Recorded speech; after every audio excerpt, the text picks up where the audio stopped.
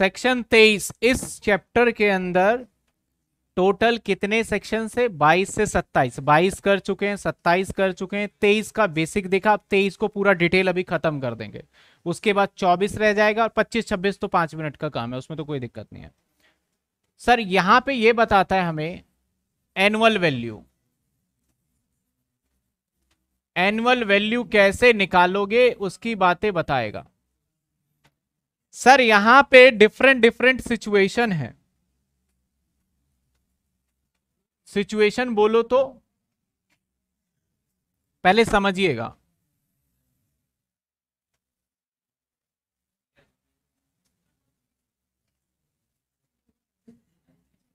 कितने सिचुएशन है? सारे सिचुएशन मैं रफली लिख देता हूँ। सिचुएशन नंबर वन आपका हाउस हो सकता है लेट आउट हो। For full year let out हो फॉर फुल ईयर तब क्या होगा? मैं हर किसी के नीचे ही करवाता जाऊँगा एग्ज़ाम्पल के साथ। सर सिचुएशन नंबर टू ऐसा भी पॉसिबल है कि आपका हाउस सेल्फ ऑक्यूपाइड हो। सेल्फ ऑक्यूपाइड का मतलब आप खुद ही रह रहे हो तो क्या होगा? तब कैसे कैलकुलेशन होगा? सर, हम खुद भी रहेंगे, किराए पे नहीं देंगे, तब भी निकालना है। जी हाँ, तब भी हाउस प्रॉपर्टी हमें निकालना पड़ता है। अब, आपका हाउस प्रॉपर्टी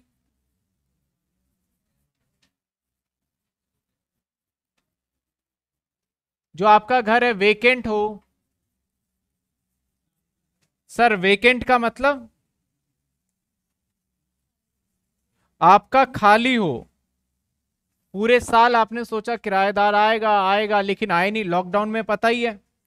कई लोगों का साल साल भर पूरा घर खाली रहा है। तो वेकेंट हो, तब कैसे कैलकुलेशन को हम हैंडल करेंगे? ऐसा हो सकता है कि आपका हाउस आपका हाउस पॉसिबल है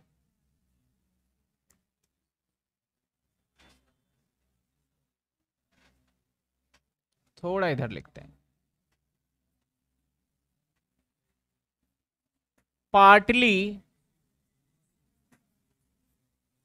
let out and partly self occupied.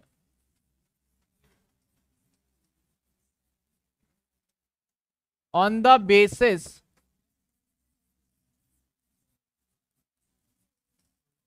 of time इसका मतलब सर, इसका कहने का मतलब क्या है? आपका घर कुछ समय तक आपका किराए पे था और कुछ समय पे आप खुद रह रहे हो। जैसे कुछ लोग क्या करते हैं कि घर ले रखा है, जब कहीं घूमने के लिए आते हैं तो बोलते भैया, खाली कर दो दो महीने हम रहेंगे, फिर चले जाएँगे, फिर दोबारा किराए पे रह लेना। यानी कुछ समय हम रहे और कुछ समय किराएदार पे। तो दोनों कॉन्सेप्ट आ गया सेल्फ ऑक्यूपाइड वाला भी और लेट आउट वाला भी। लेकिन किस बेसिस पे आपका टाइम बेसिस पे? तीन महीने, चार महीने, इस तरीके से। आठ महीने आठ महीने और फिर चार महीने, कुछ इस तरीके से होगा। सबके एग्ज़ाम्पल लेंगे, सबका प्रैक्टिकल एक एक क्वेश्चन करके देखने वाले ऐसा नहीं कि अभी खत्म होगा। सर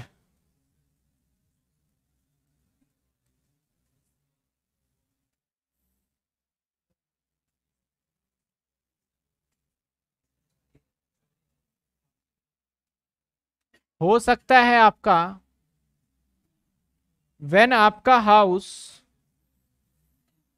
पार्टली लेट आउट हो, और पार्टली सेल्फ ऑक्यूपाइड हो। सर, ऐसा पॉसिबल ये तो दोनों सेम हो गया। लेकिन सर,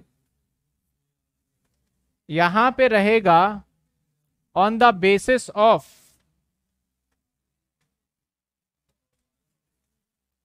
यहाँ पे रहेगा on the basis of area ऐसा होता है कई बार कि आपका घर है, आपने थोड़ा सा एरिया में आप खुद रह रहे हो, कुछ एरिया आपने बोला इतने एरिया को किराए पे। जैसे पीजी वगैरह में ज़्यादा होता है। एक स्टूडेंट है, घर है तो उसने क्या करा भैया, पूरा है, चार कमरे का सेट है उसका तो बोला चार कमरे क्या करेंगे, कुछ पैसे ही आ जाएँगे, एक कमरा उसने किसी और को। पूरे साल आप भी रह रहे हो, पूरे साल किराएदार भी रह रहा है। लेकिन आपका घर एक ही है तो इसका मतलब आपका घर एरिया बेसिस पे किराए पे दिया गया है। सेल्फ ऑक्यूपाइड भी है लेट आउट भी है, लेकिन किस बेसिस पे? एरिया बेसिस पे। यानी partly self occupied partly let out on the basis of area इन दोनों में सर फ़र्क है। ये टाइम बेसिस पे है। पाँच कमरे हैं तो मैं दो महीने रहता हूँ पाँचों कमरे में, और किराएदार पाँचों कमरे में रहते हैं, बाकी के दस महीने। यहाँ पे ये है। यहाँ पे थोड़ा सा फ़र्क है। एक और भी बात है। हम पूरे को इसी चार्ट में कवर कर लेंगे। जिसको विजुअल नहीं है, बिल्कुल डेफिनेटली मैं लास्ट में सारा विजुअल करवाऊँगा। एक एक पॉइंट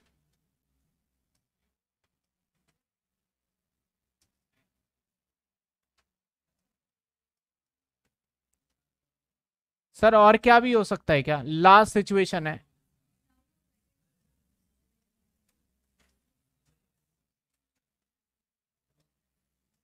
वैसे दो सिचुएशन है, लेकिन एक ही कर लेते हैं पहले। आपके पास मोर देन टू हाउस हो। यानी आपके पास ढेर सारा घर है, या more than two house self occupied हो। यानी देख लो गवर्नमेंट ने क्या कहा है कि, सर, आप एक से ज़्यादा घर नहीं रखना आपने। अगर एक से ज़्यादा घर है तो हम वो खाली है। हम मान लेंगे वो किराए पे है और हमारे रूल के हिसाब से उस पर टैक्स तो देना ही देना पड़ेगा। यानी हर किसी व्यक्ति के लिए एक घर को रिस्ट्रिक्ट किया गया है। तो ये डिफरेंट केसेस है सर कितने केसेस है? चलिए एक बार मैं दिखा दूँ आपको कितने केसेस है।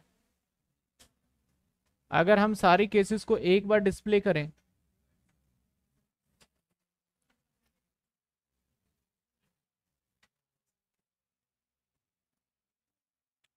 तो case number one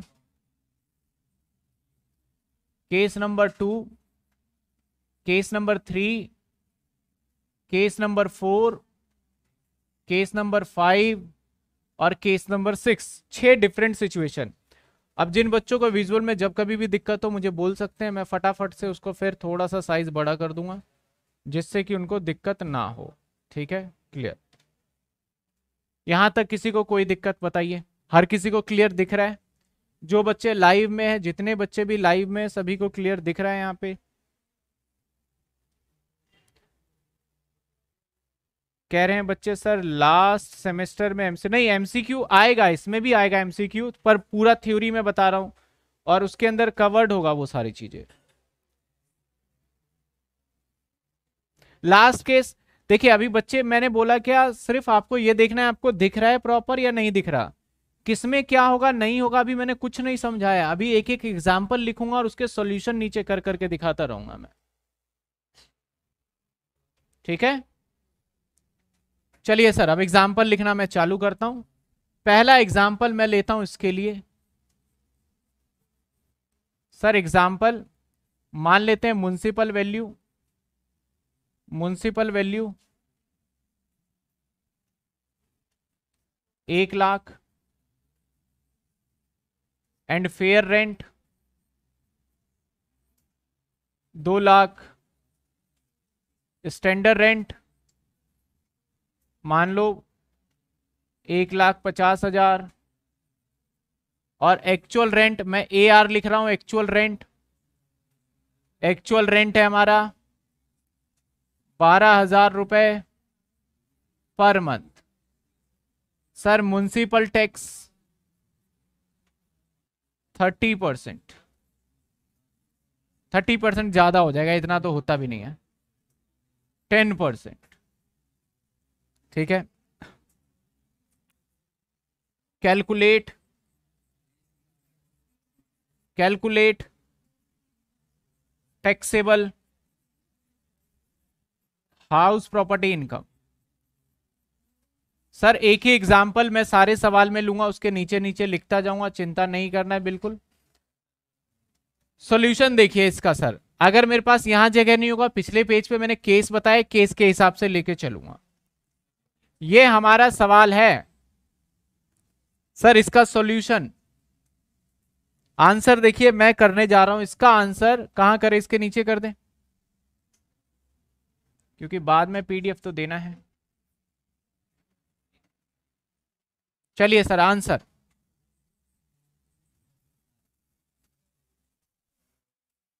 सिचुएशन क्या है, आप एक बार पढ़िए। सिचुएशन कहता है कि आपका घर पूरे साल क्या रहा है? लेट आउट किराए पे। तो जब किराए पे रहा है तो नॉर्मल जो भी हमने अभी तक एग्ज़ाम्पल देखे हैं, या जो भी एग्ज़ाम्पल हमने किए हैं, वो नॉर्मली था हमारा सारा। तो उसी के बेसिस पे करना है। चलिए।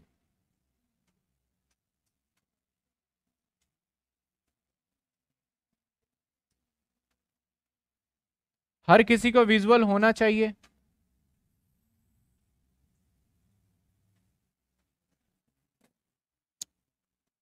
स्टार्ट करते हैं। आप देखिए, यहाँ पे हालाँकि कंपेयर कर सकते हैं आप तो मैं सीधा यहाँ पे लिखना पसंद करूँगा डायरेक्टली जीएवी क्योंकि स्पेस की कमी है। और आप अच्छे से जानते हैं, आप जीएवी निकाल पाएँगे सीधा। अगर जीएबी नहीं निकाल पा रहे तो मैं साइड में बता देता हूँ। पहले चेक करेंगे, मैंने इसलिए अमाउंट सीधा रखा है। ये आ जाएगा दो लाख। अब जो भी आंसर आएगा, उसमें से देखेंगे लोअर तो डेढ़ लाख। अब इसका आ जाएगा एक लाख, क्योंकि हर महीने का किराया है तो इन दोनों में से अगेन जब चेक करेंगे तो हायर आएगा। तो जीएबी आ गया एक लाख चौवालीस हज़ार। हालाँकि मैंने बहुत स्पीड में किया है तो किसी बच्चे को दिक्कत है, एक पचास। डेढ़ लाख आएगा, डेढ़ लाख डेढ़ लाख डेढ़ लाख। किसी बच्चे को कोई दिक्कत है तो आप बता सकते हैं, ये वर्किंग नोट में मैं साइड में कर दूँ। कोई बात नहीं, मैं आगे कर दूँगा। चलिए, मैं यहाँ वर्किंग नोट अगर करना चाहूँ तो मैं कर देता हूँ। इसी सवाल के लिए वर्किंग नोट है। सर, क्या है हमारा? एम एक लाख। फेयर रेंट दो लाख, हायर ले लो, फेयर रेंट नंबर वन, दो लाख, स्टैंडर्ड रेंट एक लाख पचास हज़ार, लोअर ले लो ई e आर आ गया एक पचास। कंपेयर कर लो किससे? ए ट्रिपल आर से दैट इज़ ट्वेल्व थाउज़ेंड और इनटू में ट्वेल्व आ जाएगा, एक लाख चौवालीस हज़ार। जो कि आ गया हमारा इन दोनों में से हायर लेंगे, जो आ गया जीएबी बताइए जीएबी की हर किसी को समझ में आया? यहाँ तक किसी को दिक्कत? अब सर जीएबी में से माइनस करेंगे म्यूनसिपल टैक्स लेस करिए म्यूनसिपल टैक्स म्यूनसिपल टैक्स कहता है दस प्रतिशत है। म्यूनसिपल कहता है दस परसेंट। तो सर, दस परसेंट किसका लेंगे? एमवी का। दैट इज़ ट्वेंटी थाउज़ेंड इसको माइनस करेंगे तो सवाल में आएगा N A V N A V क्या आएगा? एक लाख तीस हज़ार। मैंने बोला टैक्सेबल हाउस प्रॉपर्टी इनकम निकाली है। अब माइनस करेंगे ट्वेंटी फोर। अच्छा। मैंने बीस क्यों लिख दिया?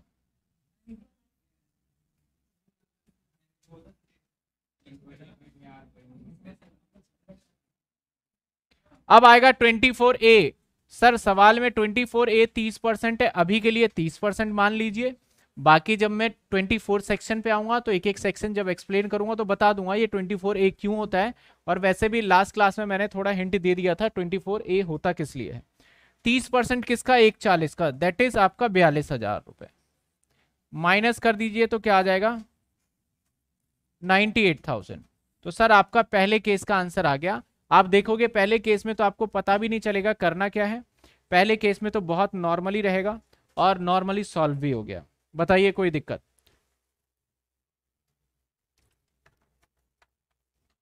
केस नंबर वन समझ में आ गया। सवाल नंबर टू पे चले। Case number two. चलिए सर, चलते हैं केस नंबर टू। तो मैं सवाल नंबर टू यहाँ लिख रहा हूँ। केसेस यहाँ बनाए हुए, बाकी पीछे पेज पे चले जाएँगे हम।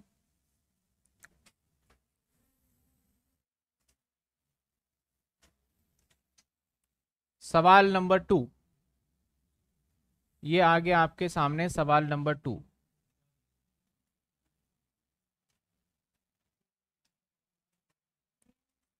थोड़ा चेंजेस करूँगा। थोड़ा सा चेंजेस कर देता हूँ। केस नंबर आपको समझ में आ जाएगा, सर केस नंबर वन ये वाला है टू जो दिया है, वो इसके लिए कर रहा हूँ। टू क्या कहता है? सेल्फ ऑक्यूपाइड क्या कर रहे हो, सर आप? सेल्फ ऑक्यूपाइड कर रहे हो। सवाल पूरा यही आया एग्ज़ाम के अंदर, कुछ चेंजेस नहीं है सेल्फ ऑक्यूपाइड हमेशा याद रखना सेल्फ ऑक्यूपाइड का मतलब हम रह रहे हैं घर में। जब हम घर में रह रहे हैं तो किराए का सवाल होता ही नहीं है। तो सरकार को किराया देना ही नहीं है। म्यूनसिपल टैक्स वाला बोल दे, भैया, इसका रेंट इतना होना चाहिए। मैंने, ठीक है, मान लिया। पड़ोसी बोल दे, इसका रेंट मान लिया।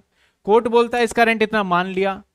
मैं बोल रहा हूँ, भाई, मैं रह रहा हूँ तो तुम सबकी बातें तो झूठी हो गई, क्योंकि इसमें किराएदार तो है ही नहीं। मैं ही ऑनर हूँ और मैं ही रह रहा हूँ। तो ऐसे सिचुएशन में, ऐसे सिचुएशन में मैं कुछ नोट भी लिख देता हूँ। डायरेक्ट आंसर आता है सर डायरेक्ट आंसर ऐसे सिचुएशन में हम स्टार्ट करते हैं एनएवी से। हमेशा ऐसे सिचुएशन में एनएवी आएगा ज़ीरो एनएवी हमेशा क्या आएगा? ज़ीरो आएगा। और कोई कैलकुलेशन यहाँ नहीं बैठता। अगर मैं इसी को फॉर्मेट में करके दिखा दूँ, अगर इसी को फॉर्मेट में करके दिखा दूँ 24 बी इंटरेस्ट वाला, अरे इंटरेस्ट वाला अभी नहीं सिखाया, नहीं बात कर रहे, अभी बाद में बात करेंगे। इंटरेस्ट वाले का कोई कहानी नहीं है। इंटरेस्ट वाले की मैं बात ही नहीं कर रहा, सिखाया ही नहीं है अभी तो। अभी तो 23 चल रहा है तो 24 का सवाल ना पूछे अभी आप, अभी तो 23 सिखा रहे हैं आपको।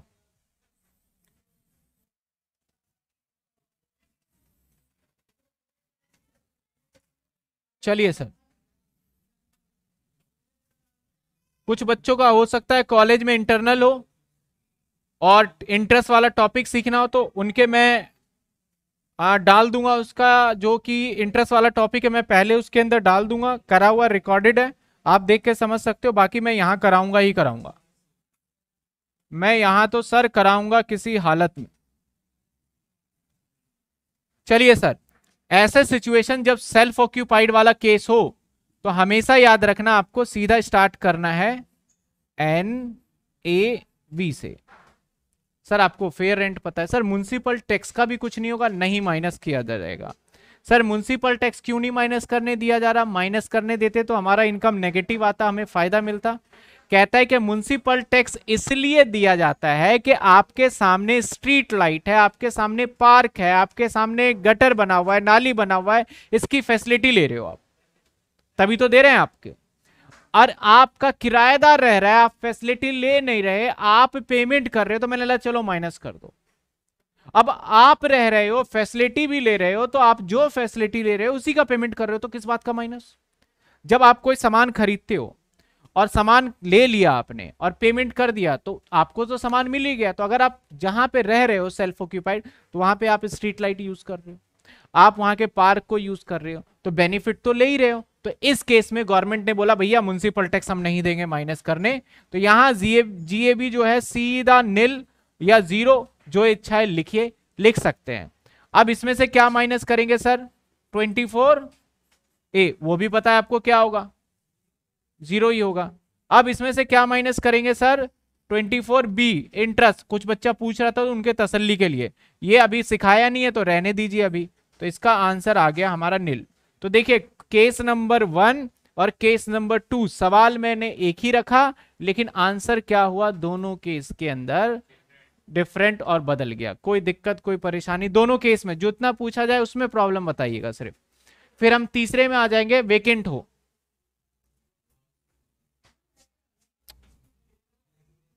एक और केस रह गया partly let out and partly vacant वाला। एक और केस रह गया, वो भी डाल दूँगा। मैं यही लिख देता हूँ। छ पे तो वो है। एक और डाल दें यहाँ पे। इसी के साइड में डाल देते हैं। Partly,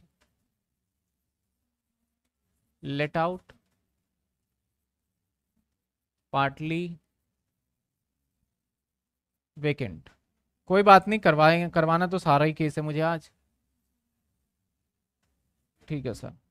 इसको नंबर चार देने जा रहे हैं और इसको नंबर पाँच दे दिया, इसको छ इसको सात। एक और केस है, हालाँकि वो तो बाद में देख लेंगे।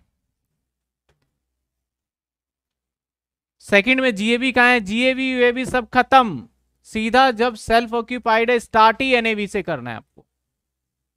कोई कैलकुलेशन नहीं वर्किंग नोट भैया, आपको पता चल गया सेल्फ ऑक्यूपाइड है, सीधा एनईवी नील लिखो और स्टार्ट करो। बात खत्म। नोट भी नहीं देना, वो पता है एग्जामिनर को। अभी कमेंट वाले हैंड रेस का जवाब मैं नहीं दूँगा, जितने बच्चे हैं, सभी जो भी है चैट में पूछिए। क्लियर चलिए। अब केस नंबर थ्री पे आते हैं वेकेंट की बात करते हैं। केस नंबर थ्री वेकेंट इसके लिए नेक्स्ट पेज का इस्तेमाल कर लेता हूँ। जैसे ही ये सारे सिचुएशन खत्म 80 परसेंट चैप्टर खत्म।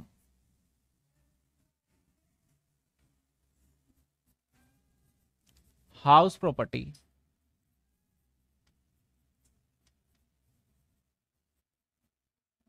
क्या था हमारा situation vacant for full year ठीक है?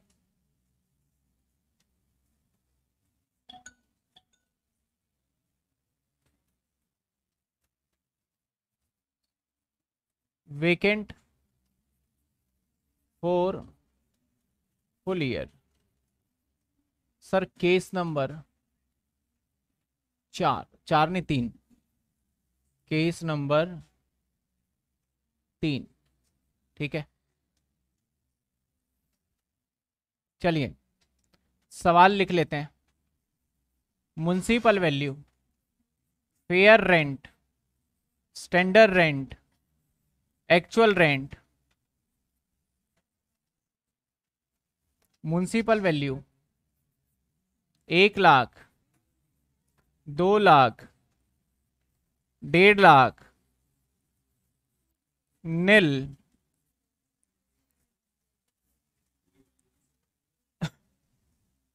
nil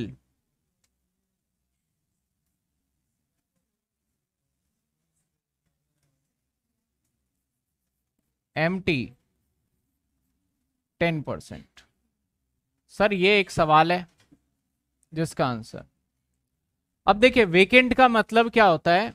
आप ध्यान दीजिएगा वेकेंट का मतलब क्या होता है?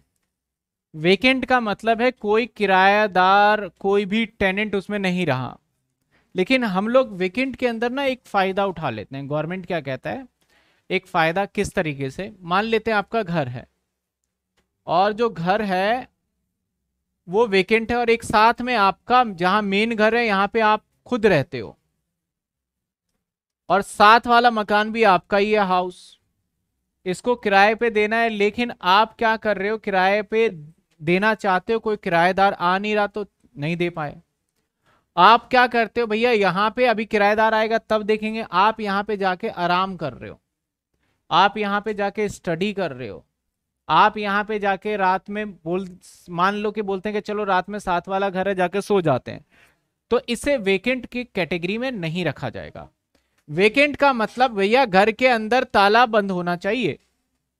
आप उसमें अपना पर्सनल एक्टिविटी कोई भी नहीं करोगे। और यह प्रूफ करना ज़िम्मेदारी आपकी है कि आपके घर में ताला बंद था। अगर आप ये प्रूफ करने में नाकामयाब हो जाते हो कि ताला बंद था या नहीं था तो आपके ऊपर गवर्नमेंट टैक्स लगा देगा। तो वेकेंट का मतलब पूरा खाली, यानी आपका घर क्या होना चाहिए वेकेंट के केस में? वेकेंट के केस में घर आपका लॉक होना चाहिए सर रूल तो यही कहता है। तो वेकेंसी के केस में अगेन सवाल का आंसर देखिए।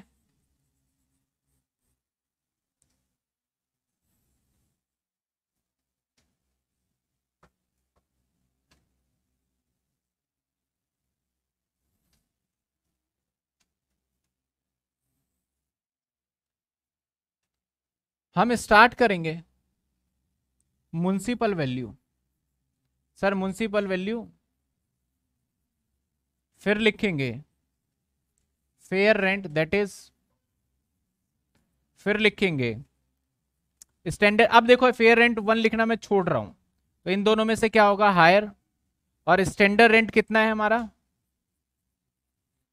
आपको सीधा ई e आर पे लेके आ रहा हूँ मैं एक्सपेक्टेड रेंट तो इन दोनों में से मन में कैलकुलेट करोगे हायर और इन दोनों में से लोअर तो एक्सपेक्टेड रेंट क्या हो गया? डेढ़ लाख रुपए। एक्सपेक्टेड रेंट क्या हो गया सर डेढ़ लाख। एक्चुअल रेंट क्या है? एक्चुअल रेंट ज़ीरो तो ऐसे सिचुएशन में अब आएगा जीएवी सर जीएवी क्या आएगा? लॉ कहता है इन दोनों में से क्या हो? हायर लेकिन आपने बोला सर हायर कैसे ले सकते हो? हमारा घर तो ताला बंद था। कोई रह ही नहीं रहा था इसमें तो। और आपने प्रूफ भी कर दिया। तो फिर ऐसे सिचुएशन में क्या ले लोगे आप? लोअर, यानी आपका क्या रहेगा? ज़ीरो रहेगा। पहले यहाँ देखिए। सर म्यूनसिपल टैक्स जो पेड किया माइनस कर सकते हो? अलाउड क्योंकि आपने बेनिफिट ही नहीं उठाया वहाँ का। तो यहाँ पे आपका म्यूनसिपल टैक्स भी माइनस करना अलाउड है, सर। म्यूनसिपल टैक्स भी माइनस करना अलाउड है। तो अगर कोई म्यूनसिपल टैक्स हुआ तो हम माइनस करेंगे। अदरवाइज़ लेस एमटी मान लेते हैं कि एम टी टेन परसेंट है दैट इज़ टेन थाउज़ेंड और यहाँ पे आ जाएगा दस हज़ार माइनस का एन बहुत रेयर केस होता है जब आपका घर पूरे साल खाली पे हो, ऐसा पॉसिबल ही नहीं है कि आपका पूरे साल किराएदार ना मिले। लेकिन जब अगर ऐसा सिचुएशन हो जाए तो आपका इस तरीके से कैलकुलेशन किया जाएगा। यहाँ पे म्यूनसिपल टैक्स क्या है? अलाउड है।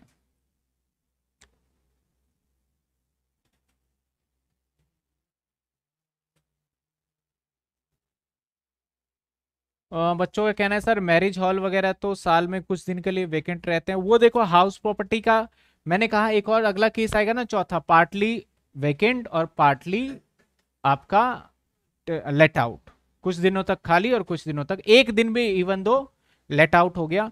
ये बात भी ध्यान रखना, ये वाला केस है, पूरा ताला बंद है तब। एक दिन भी किराएदार आए और फिर चले गए तो आप ये मत मान लेना, ये वेकेंट वाला केस है। ठीक है? चलिए सर, अगले केस पे आ जाते हैं। केस नंबर केस नंबर चार। सर, क्या था केस नंबर चार?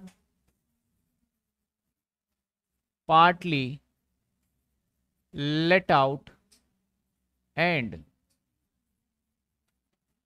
partly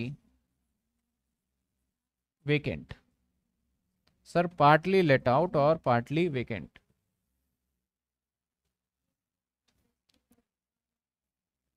चलिए एग्ज़ाम्पल सर फटाफट से हम केस करेंगे तो एग्ज़ाम्पल इसी को उठा लेते हैं। बस थोड़ा बदलाव करने वाले हैं। सर, क्या चेंज करेंगे? चेंज ये करूँगा, जो एक्चुअल रेंट है, वो बदल जाएगा।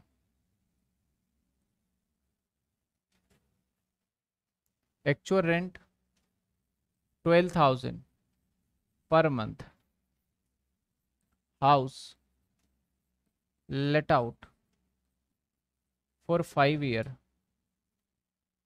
five year कह रहा हूँ five month and remaining weekend समझिएगा, काफ़ी इंपॉर्टेंट पॉइंट है और इस सवाल में एग्जामिनर यहाँ पे थोड़ी सी आपको टफ बना सकता है यहाँ पे सवाल, ठीक है? यानी सवाल है थोड़े सा लेट आउट और थोड़ा सेल्फ ऑक्यूपाइड इसको मैं दो केसेस में बना के कराऊँगा ताकि आपको पूरा क्लियर हो जाए अच्छे से। सॉल्यूशन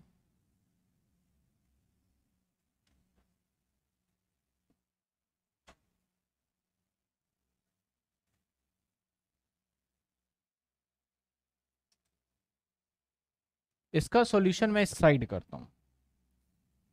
क्योंकि ज़रूरत यहीं पे करने की है।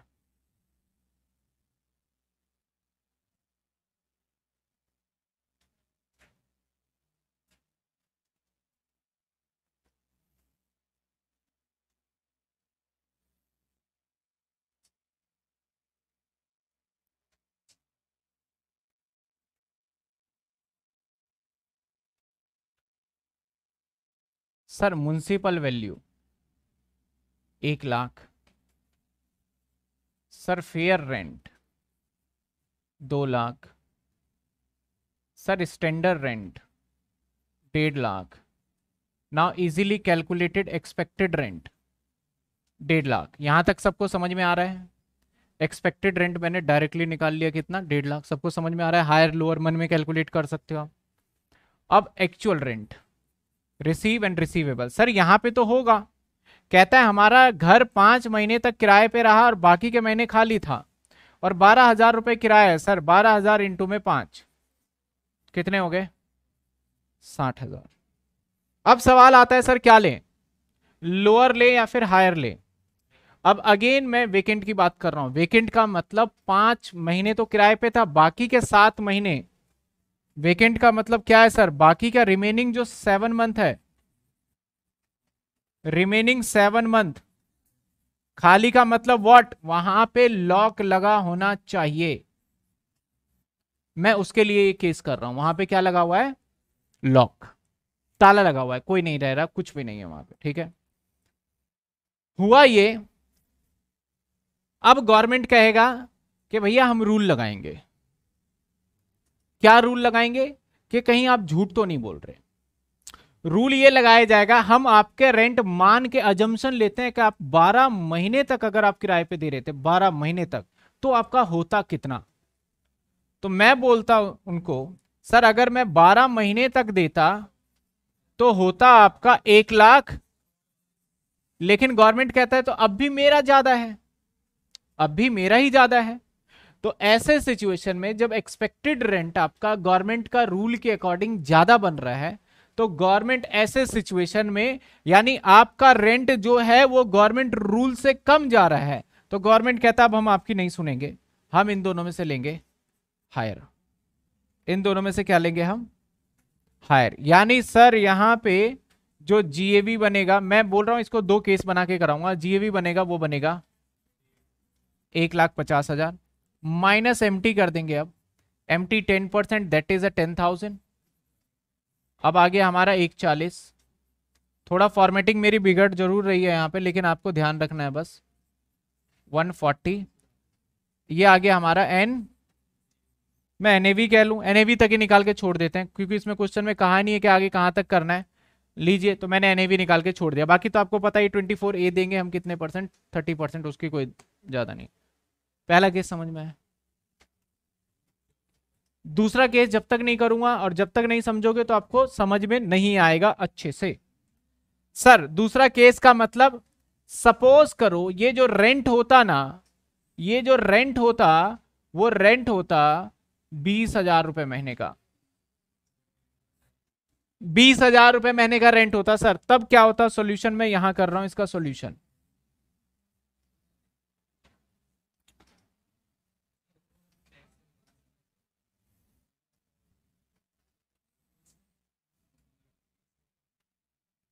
सर तो क्या होता?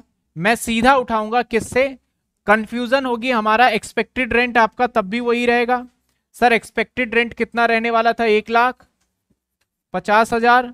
और सर एक्सपेक्टेड रेंट के बाद अगर बात करें हम एक्चुअल रेंट तो एक्चुअल रेंट तो तब भी रहेगा, सर। आपने बोला बीस हज़ार, और पाँच महीने के लिए है तो कितना आने वाला है? एक लाख। अब मुद्दे की बात है, सर हायर ले लोअर अब गवर्नमेंट बोलेगा, भैया, मेरे हिसाब से बनता है। पूरे साल का डेढ़ लाख। अब हम चेक करेंगे कि तुम्हारा रेंट पूरे साल का कितना बन रहा है। अब इसका रेंट पूरे साल का बन रहा है कितना? दो लाख चालीस हज़ार। यानी हमारे रूल से तो तुम ज़्यादा ठीक ठाक ले रहे हो। तो ऐसे सिचुएशन में अब आप झूठ नहीं बोल रहे तो इसका मतलब लोअर ले लेंगे और यहाँ पे जीएबी निकल के आएगा आपका सर एक लाख। और मैंने अगेन कहा, यहाँ पे आपका घर खाली है, ये आपको प्रूफ करना है। रूल नंबर फोर लग जाता है यहाँ पे कि आप बिल्कुल सच बोल रहे हो और एसेसिंग देखो यहाँ पे एक होता है अनरिलाइज रेंट उस पर भी रूल नंबर फोर लगता है। यहाँ पे आपने सारी बातें समझा दी और इनकम टैक्स ऑफिसर को लगता है कि भैया ये जेनवन है तो तो वो लोअर लेके चलो ठीक है। अगर उसको लगता है कि आप गलत बोल रहे हो अभी तो वो हायर लेके यहाँ पे टैक्स निकालेगा। लेकिन ऐसे सिचुएशन में जब भी सवाल देखे गए हैं आपके एग्ज़ाम के अंदर, चाहे आपके किताब में तो वहाँ पे उस सिचुएशन को ऐसे कंपेयर किया जाता है। जब पार्टली वेकेंट होगा तो कैसे कंपेयर करोगे? आपका एक पार्ट आ गया, उसके बाद आपको देखना है, सर, टोटल कितना बन रहा है? उसके हिसाब से हायर या फिर लोअर ले लोगे। यहाँ पे क्या ले लिया मैंने? लोअर और माइनस कर दीजिए आप क्या? म्यूनसिपल टैक्स और म्यूनसिपल टैक्स कितना माइनस करना है सर दस percent that is ten thousand और आपका एनएवी आ जाएगा। नाइन्टी थाउज़ेंड में थोड़ा ऊपर करके दिखा देता हूँ इसको। नाइन्टी थाउज़ेंड आ गया और ये आ गया एनएवी ध्यान दीजिएगा, काफ़ी गलती करते हैं। ऐसे एग्ज़ाम्पल मैं दिखा भी दूँगा और कर भी लेंगे। पहले आप समझिए। यानी सर हमारा रेंट सरकार के रेंट से कम बन रहा होगा तो तो हायर वाला कॉन्सेप्ट आ जाएगा वैकेंसी में। हमारा रेंट सरकार के रेंट से ज़्यादा बन रहा होगा तो कौन से वाला आ जाएगा? लोअर वाला आ जाएगा। वो हमें एक अजम्पन लेके कैलकुलेशन करना होगा। बताइए, यहाँ तक कोई डाउट क्लियर है? तो सर कितने पॉइंट कर लिए हमने? हमने अगर देखा जाए, यही तो था।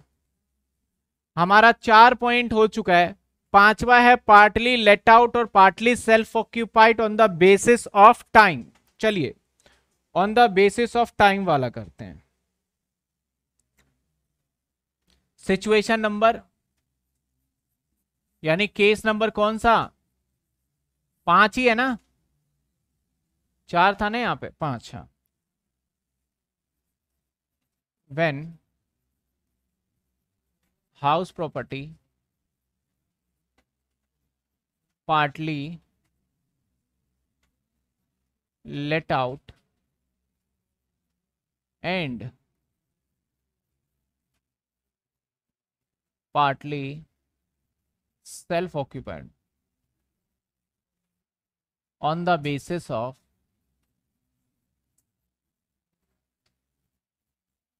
time on the basis of time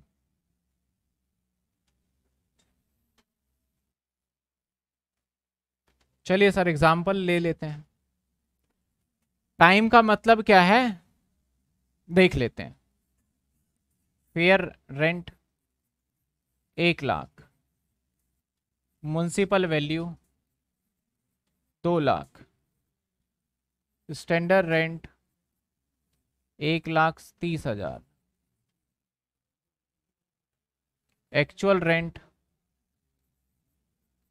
बीस हज़ार। पर मंथ एक्चुअल रेंट बीस हज़ार पर मंथ म्यूनसिपल टैक्स पच्चीस हज़ार. Out of which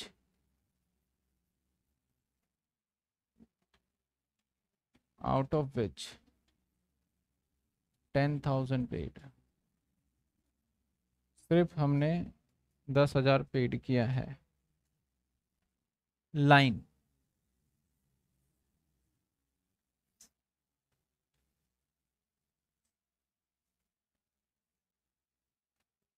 Property. Let out. For 8 month. 8 month. And remaining. Remaining. Self occupied sir remaining self occupied ये हमारा पूरा सवाल। इसको भी दो केसेस बना के करेंगे। मैं अभी थोड़ी मेहनत ज़रूर कर रहा हूँ, लेकिन जब सारा खत्म हो जाएगा तो एक बार में ही समझो चैप्टर का सारा पार्ट खत्म, क्योंकि यहीं पे जो पार्ट है, उसके बाद तो हायर लोअर कैलकुलेशन का पार्ट रह जाता है। हम सीधा क्वेश्चन पाएँगे इतने प्रोविज़न है नहीं इसमें। चलिए सर, आंसर। आंसर की बात कर रहे हैं। इसको भी दो पार्ट में कर लेंगे।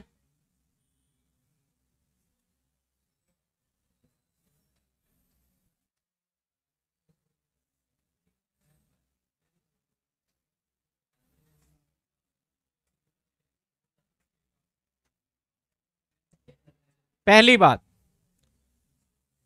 अब यहाँ पे देखो, कहता है कि मैं सेल्फ ऑक्यूपाइड रहूँगा, मैं खुद रहूँगा और मैं रेंट पे भी दूँगा। दोनों बातें कह रहा है वो। तो रेंट की बात करें तो रेंट पे कितना टाइम है सर रेंट पे मैंने कह दिया कि लेट आउट फॉर आठ महीने। और खुद कितने महीने रहेगा? तो देखा जाए आपका यहाँ पे तो कुछ टाइम हम रह रहे हैं, कुछ टाइम वो रह रहा है। ऐसे सिचुएशन में जब हम कैलकुलेशन करेंगे तो कुछ भी रेशो में डिवाइड नहीं होगा। यानी कहीं सोचो कि चार महीने का अलग निकाल लेते हैं और आठ महीने का अलग निकाल लेते हैं, ऐसा कुछ भी नहीं होने वाला। ऐसे सिचुएशन में हमारा कैलकुलेशन होगा नॉर्मल मैनर तो note calculation as normal manner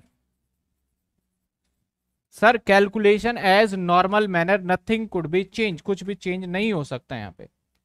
sir क्या चीज़ है यहाँ पे सर सर सबसे पहले हम लेंगे क्या?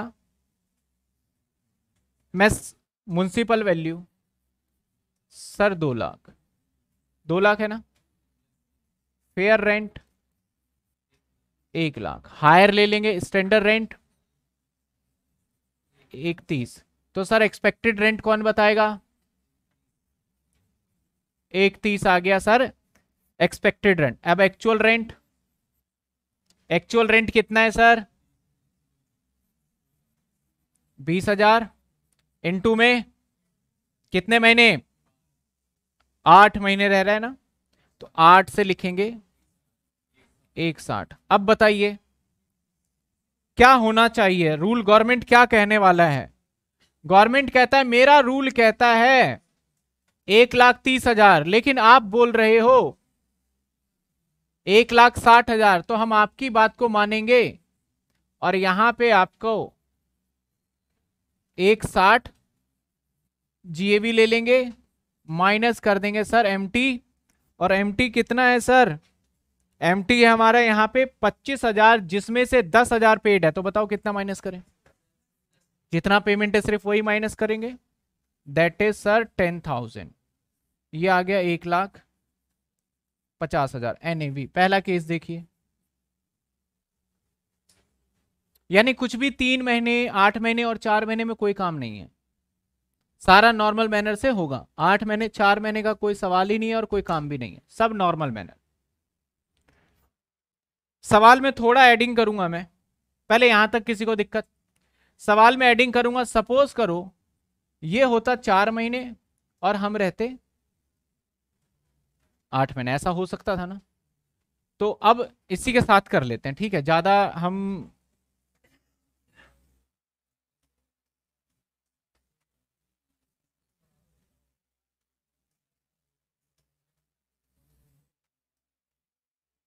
मैंने यहीं पे कर दिया कि इसका कलर चेंज कर देना।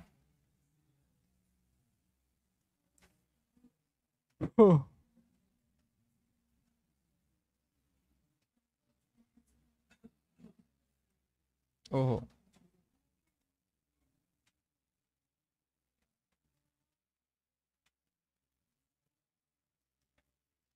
तो सर, दूसरा केस के लिए मैंने इस साइड लेके चल रहा हूँ मैं।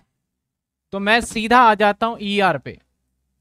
ये तो दो लाख ही रहेगा, एक लाख रहेगा, वन थर्टी रहेगा ई आर वन थर्टी रहेगा। सर अब रेंट कितना आ जाएगा अगर चार महीने देता है तो? अस्सी?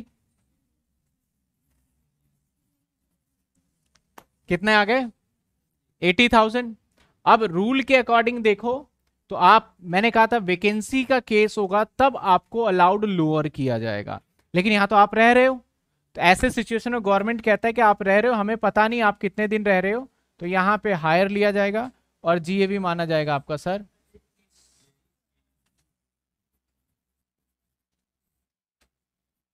कई जगह पे गवर्नमेंट का ये ऐसा रूल है ना, जिसको बोलते हैं कि सही भी नहीं है, लेकिन ये सिर्फ़ ऐसा रूल इसलिए बनाया गया है ताकि लोग उसका फ़ायदा उठा ना पाए। सिंपल सी बात है।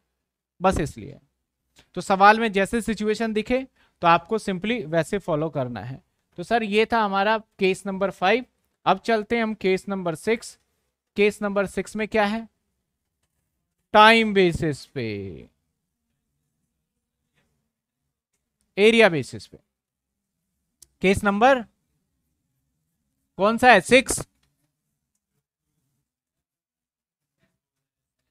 फाइव हाँ सिक्स है ना।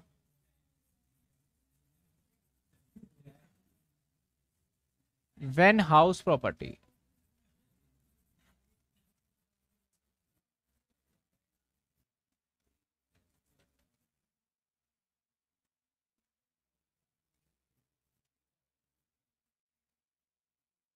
Let out. And partly.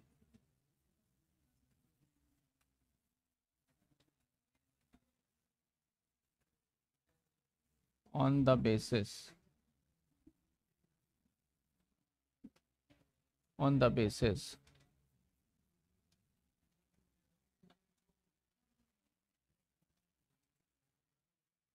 Area on the basis area sir जब ऐसा सिचुएशन हो ना तो ईच आइटम या each information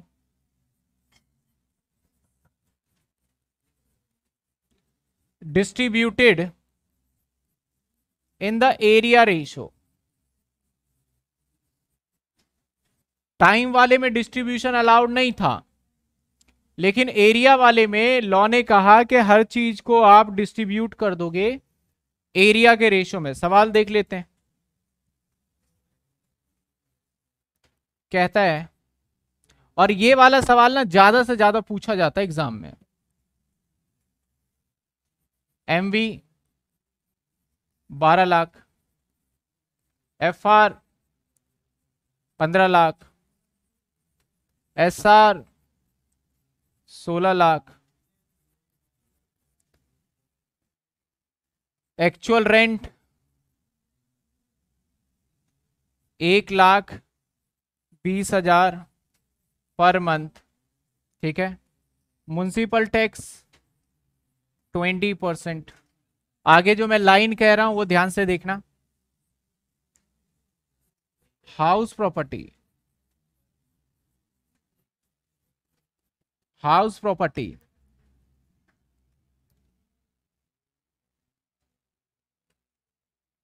sixty percent area let out and 40 percent area self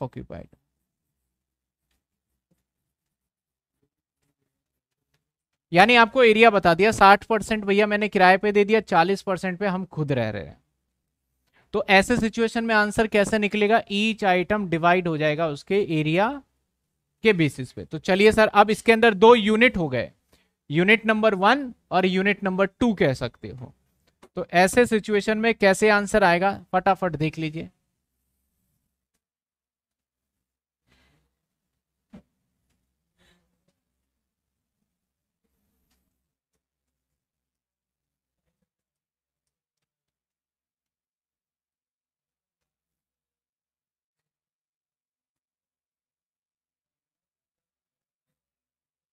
sir, मैं यहाँ फॉर्मेट वॉर्मेट नहीं लिख रहा क्योंकि एग्ज़ाम्पल लेके चल रहा हूँ मैं।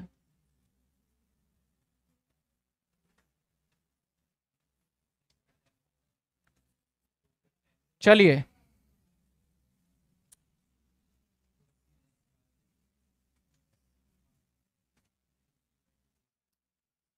म्यूनसिपल वैल्यू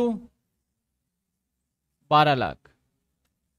फेयर रेंट और standard rent. Fair rent, sir पंद्रह लाख। स्टैंडर्ड रेंट सोलह लाख। अब एक चीज़, एक मिनट। हमें इसको एरिया में बांटना था ना।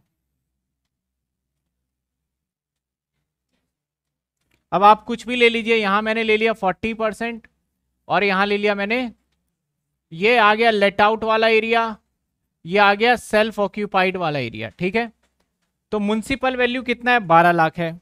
सर, बारह लाख को सिक्सटी और फोर्टी में बांटोगे। फटाफट बांट के बताइए, बारह लाख को सिक्सटी और फोर्टी में कितना होता है? तो बारह फोर्टी में कितना आएँगे? चार अस्सी और सात बीस। एफ़ आर को भी ऐसे ही बांटोगे। एफ़ आर को बांटोगे एफ़ आर कितना है? पंद्रह लाख तो छ लाख और नौ लाख। सर, रेशो में बांटा जा रहा है। एसआर को भी बांटोगे, एसआर सोलह लाख है तो छ चालीस और नौ लाख साठ हज़ार। सर, इसके बाद एक्सपेक्टेड रेंट आएगा। एक्सपेक्टेड रेंट का यहाँ सवाल ही नहीं होता। एक्सपेक्टेड रेंट का यहाँ सवाल ही नहीं होता। यहाँ पे एक्सपेक्टेड रेंट क्या आएगा? सब में से हायर और फिर lower that is actual rent आएगा सर एक्चुअल रेंट का यहाँ सवाल ही नहीं होता। एक्चुअल रेंट यहाँ पे आएगा। देखो एक्सपेक्टेड रेंट आप यहाँ निकाल लो, फ़र्क नहीं पड़ता, मैं बताना चाहूँगा अभी। यहाँ पे क्या है सर कहता है कि सर हमने किराए पे दे दिया कितने रुपए? एक लाख बीस हज़ार रुपए के महीने पे। तो मैं दूसरे का निकाल रहा हूँ, एक लाख बीस हज़ार गुणा में बारह। तो चौदह लाख चालीस हज़ार। अब आ जाएगा हमारा सीधा जीएबी सर जीएबी इसका ज़ीरो रहेगा और इसका आ जाएगा एक लाख। यानी सर, हमने इसका रेशो तो बांट लिया है। अगर हम इसका रेशो ना भी बांटे तो क्या हम डायरेक्ट जीए जीएबी या एनएबी ज़ीरो लिख सकते हैं? बिल्कुल लिख सकते हो। इसमें लग जाएगा सेल्फ ऑक्यूपाइड वाला कॉन्सेप्ट इसमें लग जाएगा लेट आउट वाला कॉन्सेप्ट यानी दो कॉन्सेप्ट इसके अंदर मर्ज हो गए, ठीक है? तो चलिए सर लेस म्यूनसिपल टैक्स अब जवाब दीजिए म्यूनसिपल टैक्स कहता है बीस परसेंट है। तो क्या यहाँ म्यूनसिपल टैक्स माइनस होगा? क्या इसमें म्यूनसिपल टैक्स माइनस होगा? बिल्कुल होगा। बीस परसेंट कितना होगा? बहत्तर, यानी एक लाख चौवालीस हज़ार। यही होगा क्या? सात, एक सौ चालीस और दो, चार। ठीक है। अब ये आ जाएगा एनएवी ये तो ज़ीरो आ गया एनएवी माइनस कर दीजिए इसमें से। क्या आता है? चौदह लाख चालीस हज़ार है ये, एक ज़ीरो कम लिखा है। चौदह लाख चालीस हज़ार माइनस एक लाख चौवालीस हज़ार। कितने आ रहे बारह लाख छियानवे। सर, ये केस नंबर सिक्स भी हमारा होता है यहाँ पे, खत्म। देखिए कोई डाउट अगले केस पे चले। देखिए फटाफट।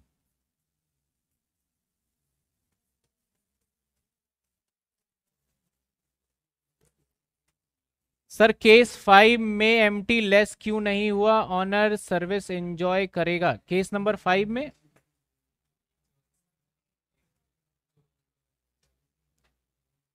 एम टी लेस क्यों नहीं हुआ? करा तो है।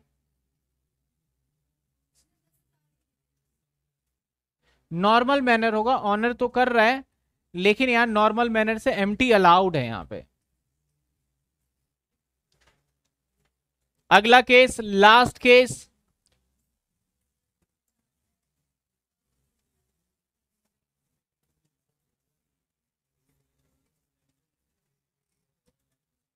Sir, last case क्या है?